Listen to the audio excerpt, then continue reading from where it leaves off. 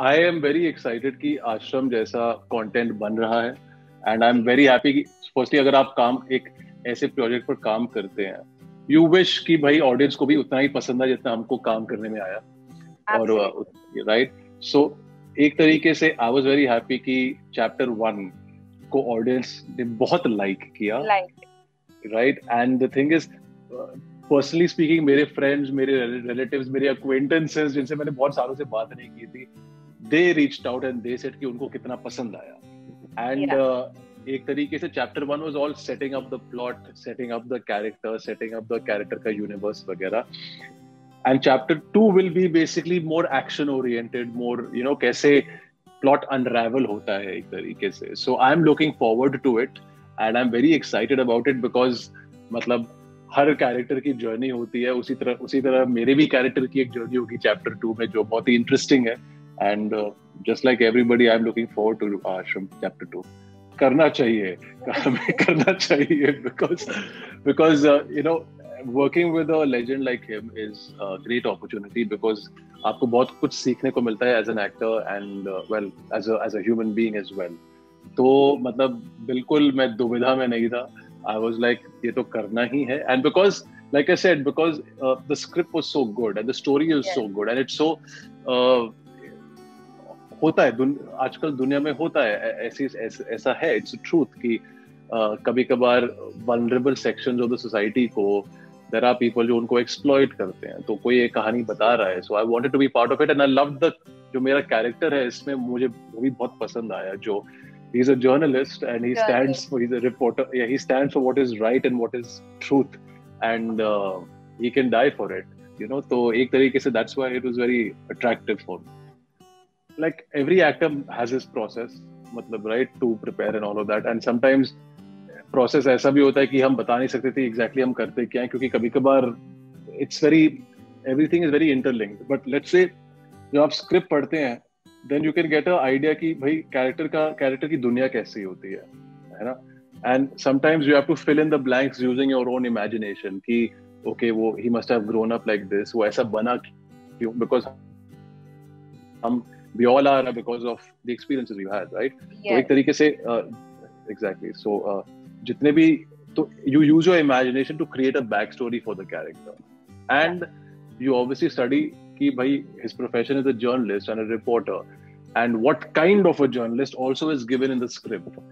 तो आप अपने imagination को फिर से use करके you become that kind of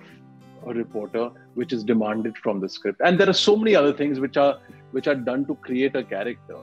but uh, it is my uh, like i like to portray diverse characters and different different like you know uh, like a, I, I, it would be very unfortunate कि अगर मुझे एक ही type का किरदार मैं हर चीज़ में निभाऊं जो आज तक नहीं हुआ है thankfully so I am glad कि मुझे ऐसा कैरेक्टर पोर्ट्रे करने को मिला आई फील प्रेशर उतना आई गेस देर इज़ मतलब वो होता है कि वो एक्सपेक्टेशन अगर बढ़ जाती है right because you because audience को जैसा आपने कहा उनको चैप्टर वन बहुत ही पसंद आया।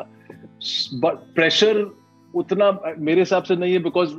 आई फील कि चूँकि चैप्टर वन ऑडियंस को इतना पसंद आया they will be looking forward to chapter two क्योंकि उनको उनको दे वांट टू सी की कहानी कहाँ जाती है। तो आई होप कि जितने लोगों ने आश्रम वन देखा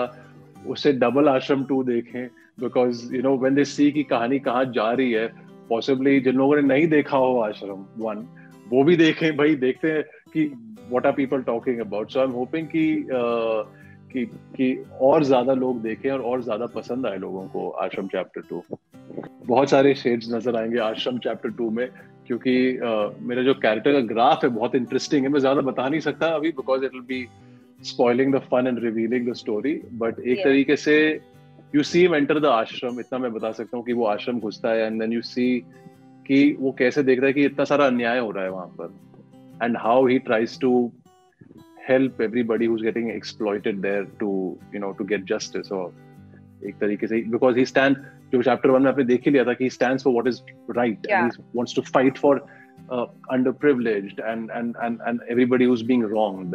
तो एक तरीके से चैप्टर टू में जाके uh, यू सी कि वो कैसे वो क्या क्या स्टेप्स लेता है to actually fight for all of them.